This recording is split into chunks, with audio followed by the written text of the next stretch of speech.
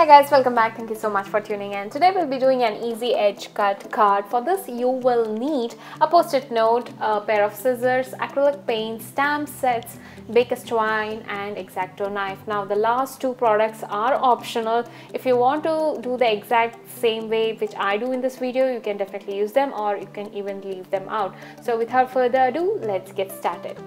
I'm starting off with the largest stamp and this card is going to be a single layer card that means there are not going to be any other layers and I'm stamping on the rightmost edge of the card. This is what you will see when you fold the card. This is going to be on the top and I'm going to start off with the largest images and stamp them first and then go with the smaller images Try to stamp the entire image on the greeting card itself. Don't leave any of those hanging at the edge uh, because that's when the edge cut technique works. So I have created this kind of mask using post-it note. So what I did is stamp the same image on the post-it note and cut around it and uh, I have placed it on those flowers as you can see. Then I went ahead with the smaller leaves and flowers. It looks as if these flowers and leaves they are peeking from behind those larger flowers.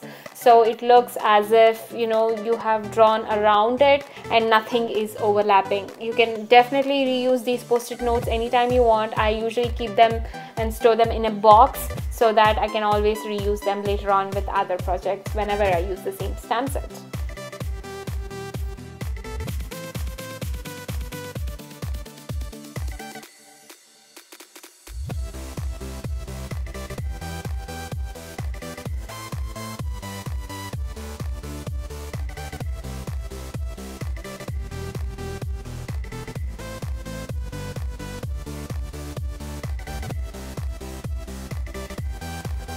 Once all the images are stamped, I'm going with acrylic paint and painting all those flowers. Here I'm using a red, yellow and green and you can even use watercolor pencils but the thing is it looks more washed out like it won't be as vibrant as acrylic paints. I want this to pop so that's the reason I used acrylic paint but you can definitely use watercolor pencils or markers whatever you have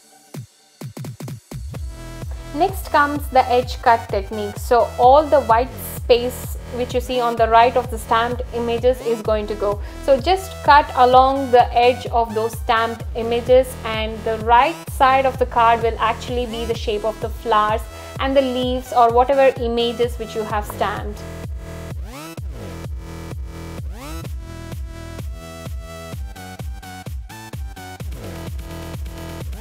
The last step will be to tie a baker's twine. Here I'm using a grey colored baker's twine and going around the card twice and tying a small bow.